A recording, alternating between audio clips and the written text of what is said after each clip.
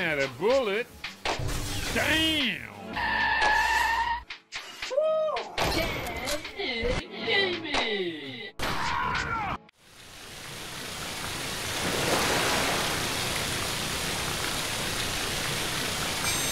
Hello everyone and welcome back to Taznic Gaming. Today's video we've got Car Detailing Simulator on MetaQuest 2. It's a little bit basic looking but hey, it works and it's fun. Enjoy.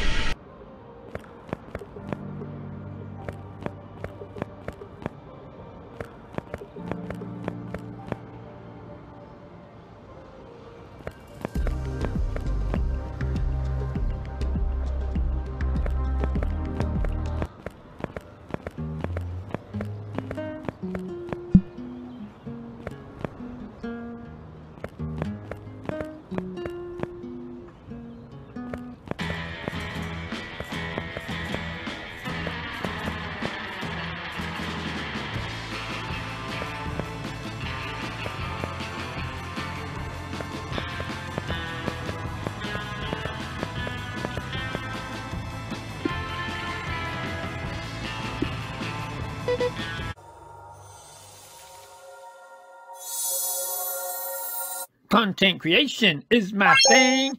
So ring that bell. Ding, ding, ding.